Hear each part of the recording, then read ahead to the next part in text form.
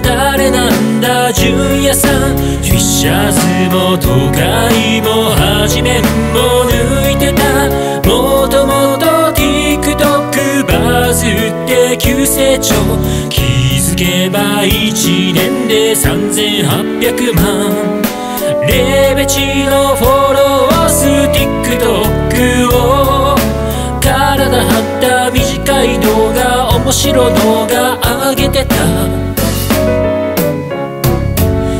YouTube は YouTube は去年の8月始めた始めた途端にあっという間にバンされた。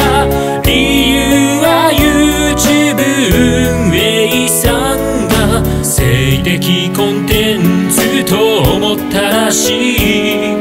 その後めげずにゼロからまた作る。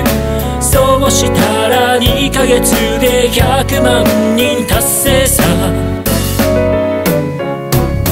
伸びに伸び1年で970万人。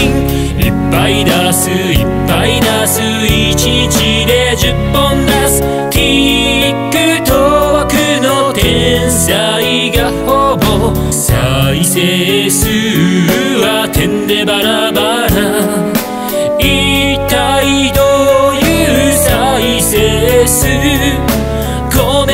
は海外ばっか海外でバズり倒すヒカキンもヒカキンも下手したら抜かれる。はじめ社長最近とうとう抜かれて純也に抜かれた報告動画出す。誰なん？純也って。いつの間にお店ばってきとった？で純也君にですね抜かれてしまいました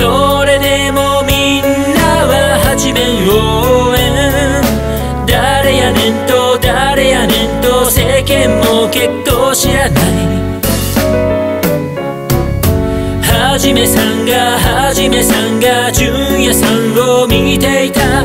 何個も見る何度も見る全く笑わず無表情。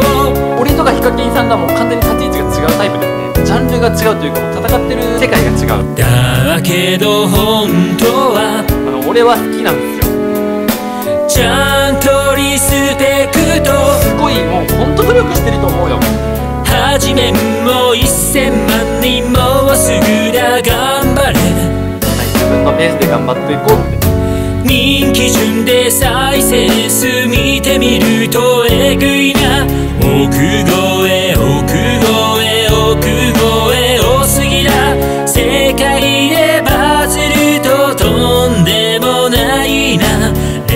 レゼンさんも無視できない海外で当たった純也がさ、全員ごぼう抜き、ヒカキンさんも抜かれる時間の問題。マジか。純也さんが日本一じわじわと狙って